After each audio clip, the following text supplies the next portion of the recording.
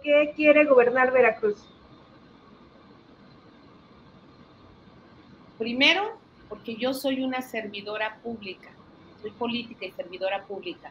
Y para un político y un servidor público es un honor poder trabajar para mi estado, una tierra que me ha dado todo, para poder servir, abonar, cambiar la realidad a Veracruz. Tengo proyectos fantásticos, elevar la calidad de vida en Veracruz. Eh, yo he dicho que voy a poner a Veracruz de moda y lo digo en turismo, pero lo digo en todo. Lo digo en todo, los veracruzanos merecemos más y yo tengo las capacidades. En estos días de campaña, ¿cuáles son las problemáticas más fuertes que ha detectado en la entidad? Tengo que meterme muy fuerte a la infraestructura carretera. Ya hablé con Claudia Sheinbaum, me va a apoyar en todas las carreteras federales. Todos me piden caminos, todos, todos, todos, pero ¿cómo no me van a pedir caminos si tenemos más de 20 mil comunidades? Entonces voy a meter los caminos artesanales que hizo Andrés Manuel López Obrador. También eh, otro de los temas, apoyo al campo, pero el apoyo al campo se ha dado, no, no me lo piden tanto, no me lo piden tanto, me han dicho sus problemáticas y cómo las vamos a solucionar. Eh, eh, creo que los jóvenes, los jóvenes quieren empleos, los jóvenes quieren oportunidades.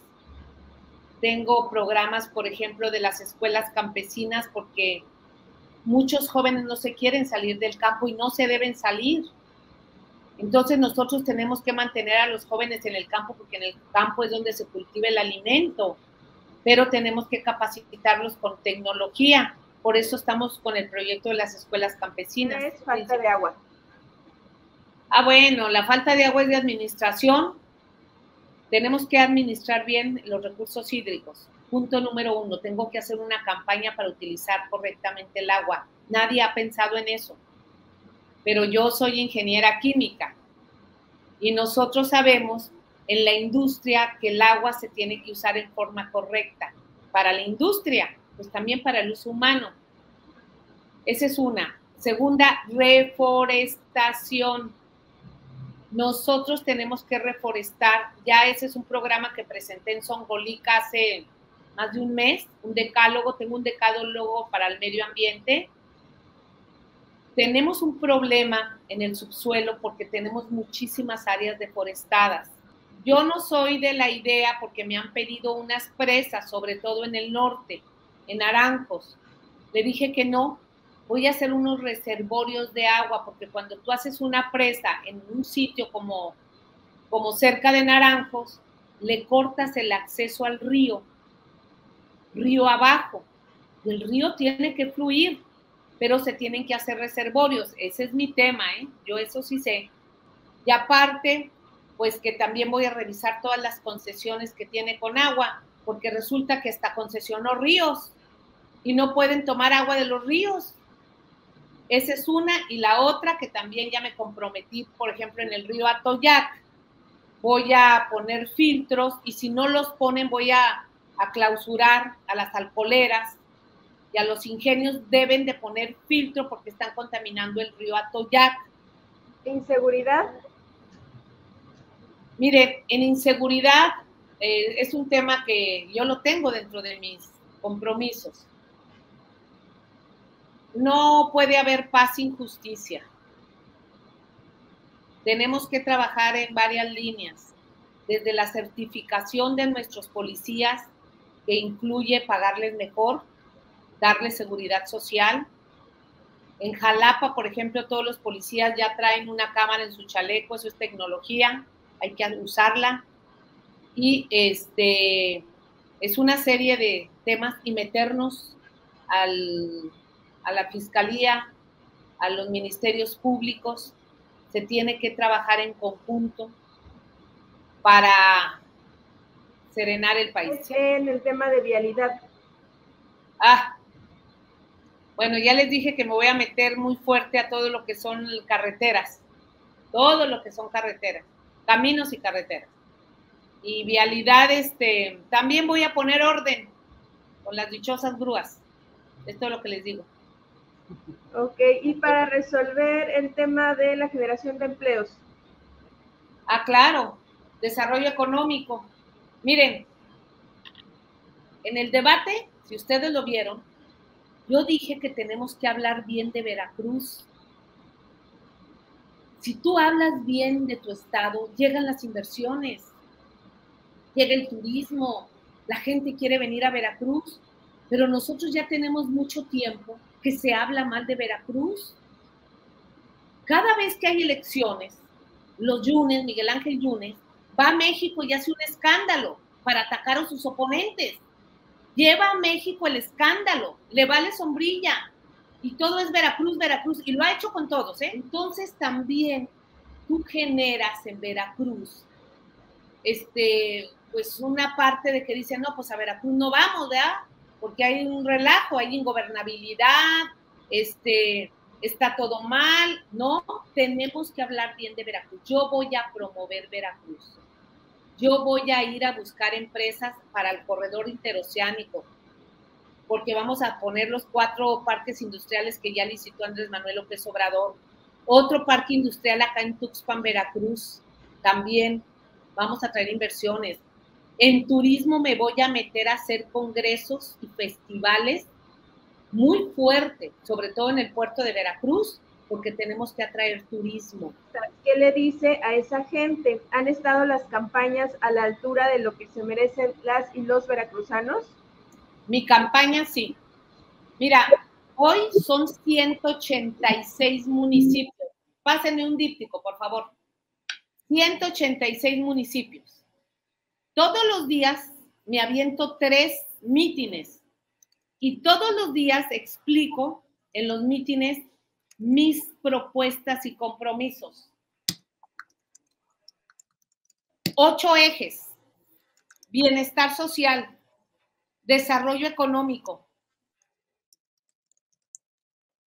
infraestructura, educación, salud. Eh, aquí está, salud, campo, ganadería y pesca. Ese es uno. Turismo y cultura es otro, y derechos humanos y seguridad. El eje rector de todo esto es cuidado al medio ambiente. Estas son mis propuestas.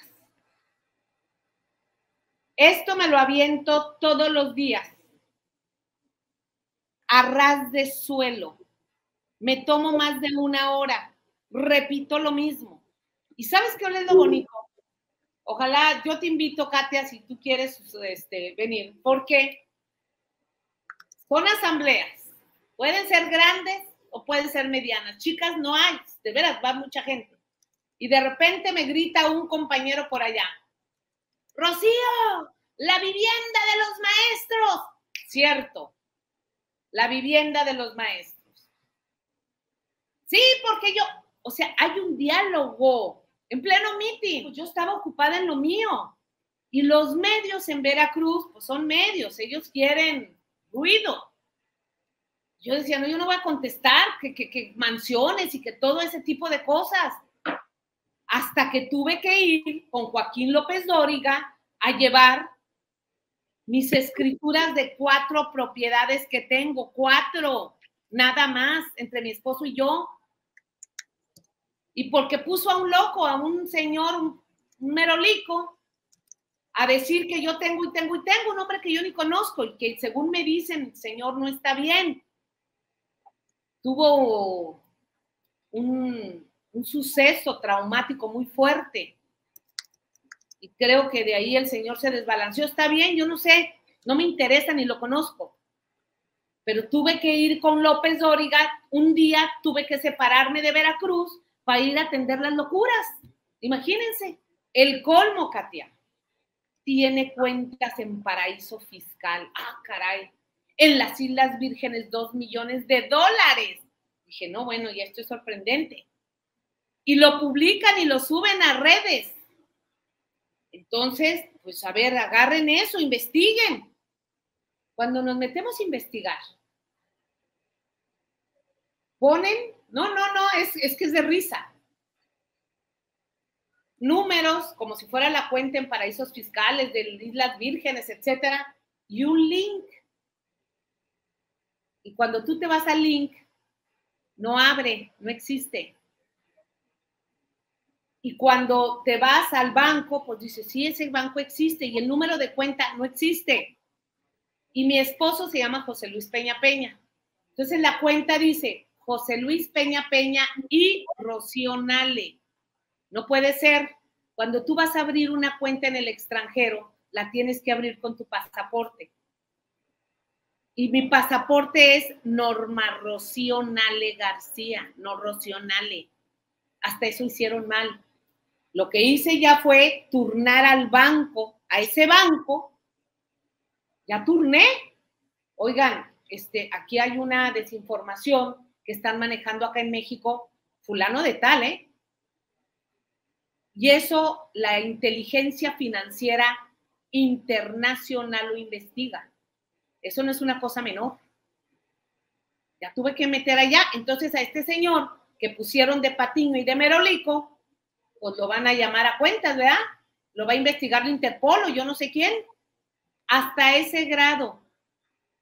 Entonces, cuando me pregunta aquí la compañera, oiga, su campaña, no, mi campaña ha estado todo dar. La campaña de la oposición, de descalificaciones y de esto ha sido una locura, pero para, la, para mí como mujer ha sido un reto, porque no me van a doblegar.